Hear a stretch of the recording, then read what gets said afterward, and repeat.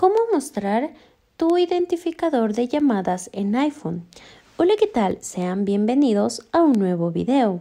Bueno, antes de empezar, quiero invitarte a suscribir a nuestro canal de YouTube, pues para que veas más videos relacionados a este tipo de contenido. También quiero decirte que el proceso que vamos a realizar a continuación, pues lo vamos a aplicar en dispositivos iPhone modernos y antiguos.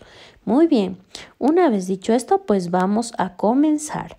Lo primero que tenemos que hacer es buscar la ruedita de configuración. ¿Listo? Una vez localizada la ruedita, vamos a hacer un clic ahí y ahora pues nos vamos a dirigir a la opción en donde dice teléfono, ¿sí? Entonces vamos a hacer un clic aquí. Muy bien, ahora pues ya tenemos todas estas opciones, ¿sí? Entonces nos vamos a ubicar en la parte en donde dice llamadas. Aquí nos va a aparecer opciones como en otros dispositivos, responder con texto, desvío de llamadas, llamada en espera y mostrar ID de llamada. Entonces vamos a elegir esta opción.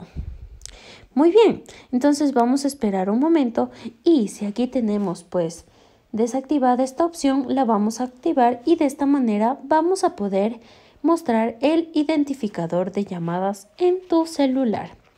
Eso ha sido básicamente todo. Espero que te haya servido de mucho este video tutorial. Si tienes alguna duda o pregunta, déjamela saber a través de la cajita de los comentarios.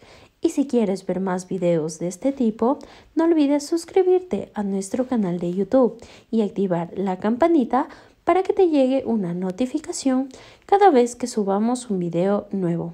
Sin nada más que decir, hasta la próxima.